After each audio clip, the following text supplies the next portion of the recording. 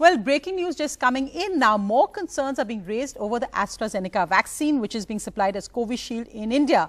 All people under 30 in the United Kingdom will now be offered an alternative to the Oxford AstraZeneca vaccine because of the rare blood clot risk.